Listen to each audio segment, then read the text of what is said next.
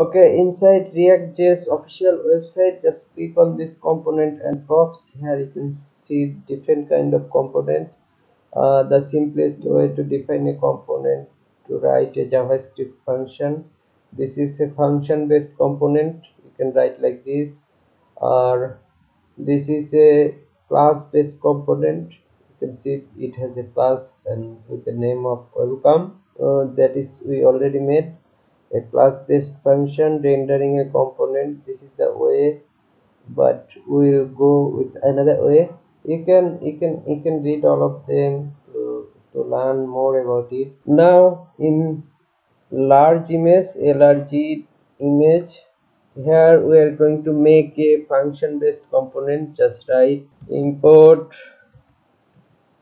react from react okay semicolon. We are going to make a function. This one will be our arrow function. Just write l r g i n g is equal uh, parentheses.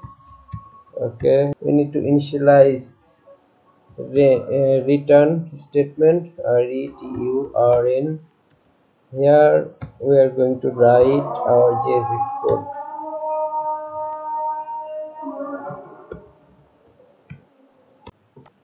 Okay here in large image we'll have two bar. First one will be top bar and second one will be bottom bar. The in in between them we'll have a image. So bottom bar is for uh, showing the title and details about the image and top bar is for our control like when you click on the button in our title bar for example this cross button when you click on it uh, it will be closed our large image and it will show our list of image okay?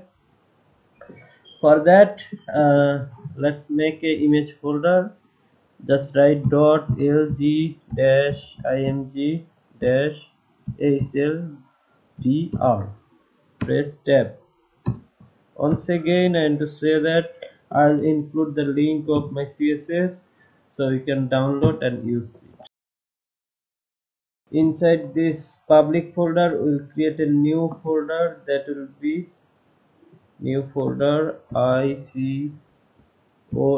I'll include the link of my icon that is SVG icon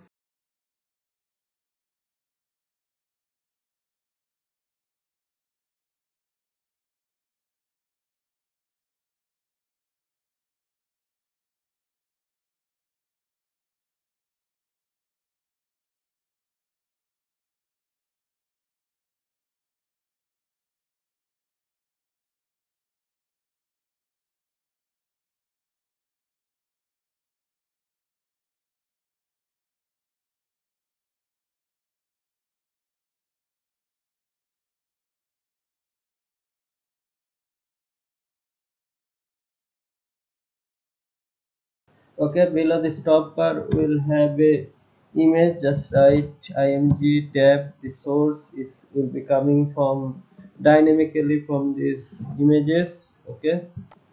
This images file.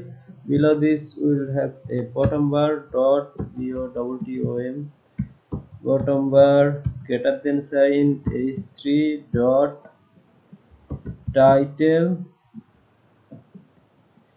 plus dot dscri description. Okay here in the title for now just write i have included this const variable uh, uh, this before this large image. Make sure you have this const variable. And at the end i exported this arrow function okay? And in the images i have imported this large image uh, just like this import large image from just write a dot forward slash it will give you the suggestion. From there just write the name of your file. Now we are going to make a css file inside our components. Just write image.css uh, once again I'm, saying that you'll find the css link in the description below.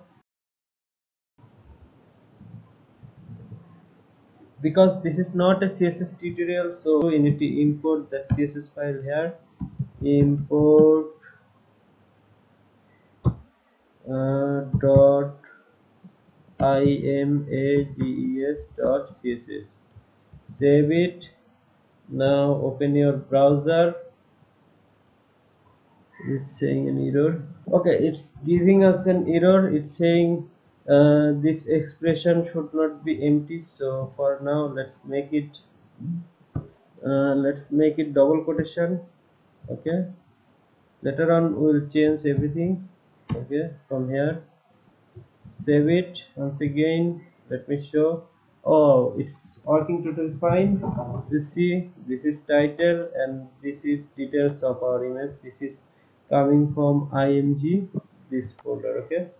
Okay we want to change the title of our project. So go to index.html it is inside public folder. From here just just write image gallery. And we want to change the background color of our whole website. Okay so go to index.css from here inside the body tag just write bg tab the background color will be little bit blue. Okay. What is uh, what is this color called i don't know. Okay let's make it little bit blue. Okay navy blue. Once again save it. It's looking perfect to me but the title color should be white. Okay let's change it. Mm, a there should be color is white and the body color also should be white. C O L O. Okay. Let's see how does it look now? It's perfect. Okay